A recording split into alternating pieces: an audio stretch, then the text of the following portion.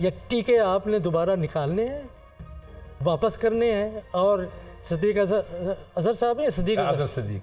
अजहर सदीक साहब ने जो बात की है कि आप हर अदालत का दरवाज़ा खटखटाएँ हर बैन अवी कमीशन का दरवाज़ा खटखटाएँ कि पाकिस्तान में इंसानी और सियासी हकूक़ और जमहूरी हकूक़ के साथ इस वक्त इस इलेक्शंस में क्या किया गया है? पैसे भी हमारे अवाम भी हमारे क्या उन लोगों के बारे में मियाँ साहब आए उनका ख़ानदान आया और और आके खड़े हो गए कैमरों के सामने जो भी बातें कहीं। कितनी देर? आठ बजे सुबह से लेके सर्दी के मौसम में करोड़ों पाकिस्तानी लाइनों में लगे हुए हैं। जी। उनके मैंडेट का आपने क्या किया है? क्या कर? इस वक्त जो आपके अदाद शुमार आ रहे हैं जो आज़ाद उम्मीदवार हैं उनका वोट परसेंटेज छत्तीस फ़ीसद है। मुस्लिम लीग नून का तमाम तर वो जो आपने अभी बताया है मियाँ साहब के बारे में मुझे नहीं मालूम। तमाम तर सहूलतों के बावजूद आसाइशों के बावजूद। उसके बावजूद ये लाखों वोटों के बावजूद चौबीस फ़ीसद है। ठीक है? कि सर ये कितने के स्टेबल होगी इस तरह की गवर्नमेंट देखिए हो या ना हो जो अवाम में और दुनिया में देखी जाएगी एक मज़ाक होगी। बिल्कुल एक मज़ाक होगी कि उसके बारे में जहाँ भी ये जाएँगे ये दुनिया का सहाफ़ी दुनिया का दानश्वर दुनिया का सियासतदान इनका पीछा करेगा। पाकिस्तान के अंदर भी कोई इनको चैन से नहीं बैठने देगा। एक कोई ताकत के टीके लगाए गए हैं ये नहीं मालूम कि कितना टीके लगे हैं। डोज कितनी है? ताकत के टीके कितना लगे मुझे यह नहीं मालूम। अच्छा। लेकिन ये देखें बात जो अजहर साहब ने की बड़ी ज़बरदस्त बात की। ये बातें पाकिस्तान के बाहर हो रही हैं पाकिस्तान के अंदर हो रही हैं। और ये बातें हो रही हैं कि अगर जो अवामी सैलाब है, उसकी मंशा को आप मान लेते तो पाकिस्तान का मुस्तकबिल कितना अच्छा हो सकता था? कि पाकिस्तान तो खुशहाल हो सकता था, मुस्तकबिल अच्छा हो सकता था, लेकिन जो मरूसी सियासतदान चालीस साल से हुकूमत कर रहे हैं, उनका मुस्तकबिल तारीख हो चुका था। अब उस तारीख मुस्तकबिल को आप रोशन करने की कोशिश कर रहे हैं तो वो वो शबाज शरीफ साहब के बाद टास्क है ना उसका जालिब ने कहा था ना कि कि जुल्मत को जिया। सर सर ठीक है? तो सर सर को सब। देखिए हम कैसे एक मान लें कि एक तरफ़ देखें तारीख की गवाही है अवाम की गवाही है। आप एक दानश्वर सहाफ़ी एक पाकिस्तानी शहरी के लिहाज से आप किसके साथ खड़े होंगे? वो जो अवाम की मंशा और इरादे के ख़िलाफ़ किसी को ये ताकत के टीके लगा के सियासत में ला रहे हैं उनको वो वो इस, वो इस्तेमाल होने के लिए तैयार है वो मोहरे बनने के लिए तैयार है। क्या ज़ियाउल हक के मोहरे नहीं थे? कौन सी सियासी जमात थी जो ज़ियाउल हक साहब की मोहरा नहीं थी? ये सबसे बड़े मोहरे थे।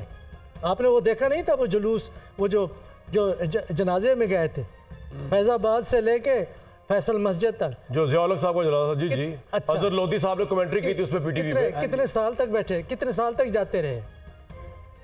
ये देखें ये एक एक एक एक राय है कि जो इस वक्त इसम्बली में अदाद शुमार आ रहे हैं ज़ाहिर है कि इलेक्शन कमीशन ऑफ़ पाकिस्तान ही जिम्मेदार है ना? सर। तो वो जो आ रहे हैं वो जो आवाम की मंशा उसके मुताबिक नहीं ये ये ये जायजियत का है।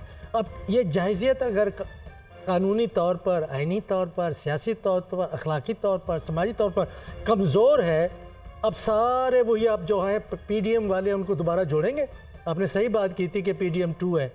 इसको कहते हैं पी डी एम टू नहीं two P D M plus है। ठीक है? कि इसमें सर ये कितने के स्टेबल होगी इस तरह की गवर्नमेंट देखिए हो या ना हो जो अवाम में और दुनिया में देखी जाएगी एक मज़ाक होगी। बिल्कुल एक मज़ाक होगी कि उसके बारे में जहाँ भी ये जाएँगे ये दुनिया का सहाफ़ी दुनिया का दानश्वर दुनिया का सियासतदान इनका पीछा करेगा। पाकिस्तान के अंदर भी कोई इनको चैन से नहीं बैठने देगा। इस वक्त ज़रूरत इस बात की है। सर। मैं बात यहाँ ख़त्म कर रहा हूँ। राइट बात इस बात की है। देखिए ये मुल्क हमारा है हमारी आपको पता नहीं शायद बाहर आपने कुछ सरे पैलेस खरीद किया हुआ हो या नहीं नहीं मैंने या, या, मुझे विरासत में घर मिला है, विरासत में है। या, या हाइड पार्क के करीब आपका नहीं नहीं मेरा नहीं है। नहीं है? नहीं। आपने मेरा गया हूँ हौसला-। मेरा- मैं- वैसे होके आया हूँ वहाँ। मेरा हौसलो इसमें वही विरासत में आया हुआ है। आप और मैं हमने यहाँ रहना है। हाँ जी अल्हम्दुलिल्लाह। ठीक है? और ये मुल्क हमारे लिए सारे पाकिस्तानियों के लिए एक ही तो जगह है।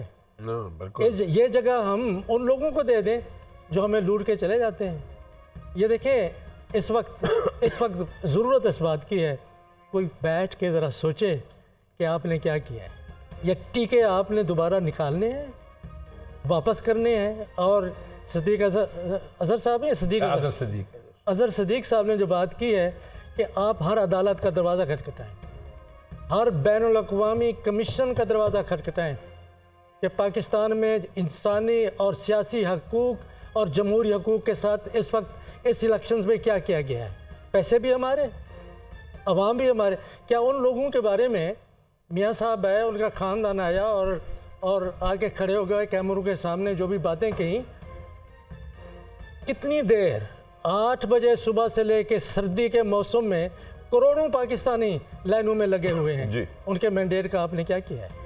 क्या कर इस वक्त जो आपके अदाद शुमार आ रहे हैं जो आज़ाद उम्मीदवार हैं उनका वोट परसेंटेज छत्तीस फ़ीसद है। मुस्लिम लीग नून का तमाम तर वो जो आपने अभी बताया है मियाँ साहब के बारे में मुझे नहीं मालूम। तमाम तर सहूलतों के बावजूद आसाइशों के बावजूद। उसके बावजूद ये लाखों वोटों के बावजूद चौबीस फ़ीसद है। पाकिस्तान पीपल्स पार्टी का बारह या चौदह फ़ीसद है। आगे पीछे हो सकते हैं। आप इस मैंडेट को ख़त्म करेंगे तो कुछ तारीख आपको याद आती है पाकिस्तान की? सिर्फ़ हमारी गुजारिश है मियाँ साहब से। मियाँ साहब से उनके ख़ानदान से बाकी लोगों से दिल बड़ा करें। साद रफ़ीक ने बहुत अच्छी बात की। जी मैंने तो उनको ट्वीट पे उसके दिल में पहले भी मेरे दिल में कदर थी। पॉलिटिकल वर्कर उसने कोई और बात नहीं की उसने। बिल्कुल चाहिए तो ये ये था कि उनको खुद फ़ोन करते शायद किया भी हो लेकिन ये तस्लीम करे। इन्होंने तस्लीम नहीं किया बल्कि सारा। निज़ाम मफलूज कराया कहीं पे घुटने टेके किसी की मिन्नत की कहीं पे सौदेबाज मुझे नहीं मालूम ये सारी लोग बात कर रहे हैं। मैं नहीं बात कर रहा। लोग बात कर रहे हैं। तो इस जहजियत के साथ अगर आप सोचते हैं कि पाकिस्तान में खुशहाली और इस्तेकाम आएगा और ये जो बातें कर रहे हैं उनसे ये तो पूछे ना हम बार बार कह चुके हैं कि पाकिस्तान की तारीख की दुनिया की तारीख की सबसे बड़ी कबीना थी जब पाकिस्तान मुआशी बहरान का शिकार था। कुछ जवाब आपको मिला है? हम्म। आप आज को यही कहेंगे कि क्या करें? मजबूरी है।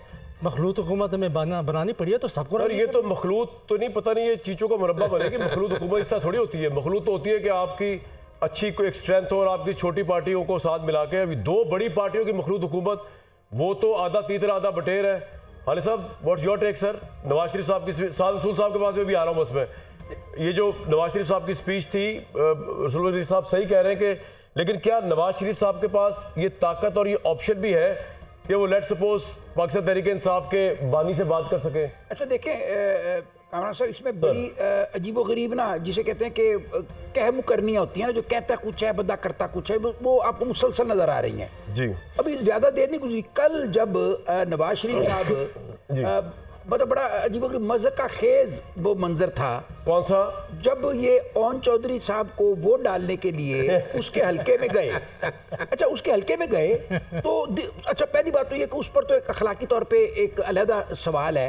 कि वो किस तरह लोग इकट्ठे हुए थे सबके सामने मोर लग रही है। पोलिंग बूथ चल के आ गया भाई। वो चल के आ गया। हम तो लाइनों में खड़े होकर हमने वोट दिया है। बूथ बंदे से खुद पूछे मोबाइल छीन लिया उन्होंने। नहीं, आपसे सही छीना है। मैं तो अपनी बात कर रहा हूँ आम पाकिस्तानी की। आप थोड़ी आम पाकिस्तानी है, खुदा बंदे से खुद पूछे बता तेरी रजा क्या है? तो खुदा वो वो बूथ बंदे से खुद पूछे बता तेरी रजा क्या है? तो अच्छा उसमें मतलब मुझे तो ये लगता है कि बुनियादी तौर पे ओन चौधरी साहब को शक था कि ये मुझे वोट देंगे कि नहीं तो वो साथ साथ थे। साथ साथ थे। प्राइवेसी का भी एहतराम नहीं किया नवाज़ शरीफ साहब। करें कि जिस बंदे को अपने चीफ इतिहादी के वोट पे शक नहीं और उसको इतने लाखों वोट पड़ गए हैं एक तो ये बात है। ये बड़ी हैरान कौन है वैसे? मैं तो सही रात सो नहीं सका अच्छा उसी में फिर ये हुआ कि जब इन्होंने ओन चौधरी साहब कहा मतलब उसको अप्रिशिएट करे थे तो वहाँ पर उनको सवाल हुआ। तो उन्होंने कहा कि मैं मखलूत हुकूमत का खुदा के वास्ते उसका नाम ना ले। एक पार्टी हाँ उसकी वजह यह थी कि बुनियादी तौर पर उनको उस शायद पे। यकीन था कि उनको कहा गया था। कि मतलब ताड़ा कम हो गया है। वो रखा हुआ वो रखा अच्छा उन्होंने उस एतबार उनके लीडर जहांगीर तरीन हार गए वो तो वो भी जेलस फील कर रहे होंगे आज के और चौधरी जीत गया भाई। जी, अच्छा। मैं हार गया। अच्छा नहीं दो तीन मज़ेदार बातें हुई है। अच्छा उसपे ये हुआ कि जब इन्होंने साड़ी गाल हो गई है ना तो वो था उसपे तो उनका था ख्याल कि कल वो जब ये कह रहे थे कि लेकिन सर ये तो माने ना फिर पोलिंग तो बड़ी न्यूट्रल माहौल में हुई है ना ये तो माने ना जी जी वो बिल्कुल लोग आए। पोलिंग तो न्यूट्रल माहौल में हुई है। मसला तो पोलिंग के बाद का है। पोलिंग तो पोलिंग पे कोई इतराज नहीं। पोलिंग पे अच्छा इंतज़ाम था। लोगों को नहीं रोका गया। जिसने वोट चाह डाला। जहाँ चाहा डाला। लेकिन आप क्या चाह रहे थे कि यासमीन राशि से नवाज़ शरीफ हार जाए? नहीं, नहीं ये मैं होने नहीं दूँगा। देखें मैं देखें। ये नहीं होगा। ये पहली जब तक तो मैं हूँ ये नहीं होगा। पहली बात तो ये है कि आपके चाहने से ना कुछ फ़र्क नहीं पड़ता। लेकिन हमारे चाहने से। को समझाएँ जरा। और जो हमारे चाहने से ही कारोबार आपके ज़िंदगी बगैर चलता नहीं है सकता नहीं नहीं, नहीं, नहीं, ये देखें जो चाहते थे इजी लेंगे खालिद साहब पहली दफ़ा मिल रहे हैं हम। क्योंकि जिन्होंने चाहा था उन्होंने तो जो चाहा था वो करवा दिया। जो उनकी चाहत है वो हमारी चाहत है। अच्छा चलो फिर ये बात और, और अच्छा उसमें उसमें ये बात हुई कि मतलब सर इसका ये तो मज़ाक अपनी जगह पे हम किसी पे इल्ज़ाम नहीं लगा सकते हम सिर्फ़ ज़िम्मेदारी फिक्स करेंगे इलेक्शन कमीशन पाकिस्तान में। सीधी सी बात है अगर वो प्रेशर में थे उनको रिजाइन मौली मुश्ताक साहब थे ना उनसे मैं अक्सर पूछा करता था आपने भुट्टो साहब को तो एक दफ़ा उनके मुँह से निकल गया दबाव वाली बात तो मैंने कहा सर वो जज ही का दबाव में आ जाए। यू शुड हैव रिजाइन खत्म होगी बात। अच्छा मैं बात कर रहा था उसमें आप ये देखें कि उनको ये यकीन था परसों तक ये यकीन था या करवाया गया था ये जो भी मैं इस पे बहस। करना चाहता कि आपको 134 सीटें मतलब आपकी सर मेरा नहीं ख्याल किसी ने यकीन कराया। उनको अगर अगर वो यकीन होता तो ओन चौधरी को वोट डालते वक्त जो है वो मखलूत और ये और इस तरह की बातें ना अच्छा करते। मखलूत की बात करें कि मखलूत नहीं करेगी और वो उस पार्टी के साथ इलाक उन्होंने इलेक्शन से पहले वो देख ये मखलूत नहीं होती, छोटी पार्टी के साथ होता है था वो अब अब जो होने लगा है ना अच्छा बात ये लेकिन ये देखें आप अब सूरत थोड़ी सी ये देखें कि जनूबी पंजाब में 46 सीट हैं एनए की। ठीक है। 46 में इस वक्त जो अभी तक जो नतज आए हैं उसमें से 18 सीटें हैं आज़ाद पीटीआई वालों की, उम्मीदवारों अच्छा चार सीटें ऐसी हैं जो रात तक वो आगे थे और एक दो वोटों से नहीं मसलन उसमें वियाड़ी से ताहिर चौधरी था। ठीक है। ताहिर साहब इसमें हम ज़रूर देखें आप बिल्कुल बजा फरमा रहे हो आज़म साहब ने बात कर दी। इसमें ज़रूर मैं चाहता हूँ जरा आगे के मंजरनामे भी जाएँ ये चीज़ें चैलेंज भी हो जाएँगी ट्रिब्यूनल में भी जाएँगे इस पर भी बात करते हैं। मैं जरा आपकी इजाज़त हो तो एक मिनट के लिए साथ रसूल साहब को एक मिनट का ले लूँ उसके बाद क्योंकि वो बड़ा ज़रूरी है क्योंकि रशीद साफी साहब ने कहा था कि इमरान खान को अच्छा पीटीआई को चार सीटें मिलेंगी कैसी? साथ रसूल साहब आवाज़ आ रही है आपको? हालात बाद में तब्दील हो गए साज अब साज भाई बात ये है वो हिंदुस्तान की एक फ़िल्म का डायलॉग था जब अमिताभ बच्चन ने भगवान को देख के कहा आज खुश तो बहुत होगे तुम। क्योंकि वो झुका दिया था उसने तो अब आज मैं आपको कह रहा हूँ, खुश तो बहुत होंगे आप भाई। बोले माइक आपके पास है क्रेडिट दें। हमारे मुल्क में इलेक्शन कराने वालों को मैं इलेक्शन कमीशन की बात नहीं कर रहा कि आपके वोटरों को किसी रोका उससे आगे चले आप।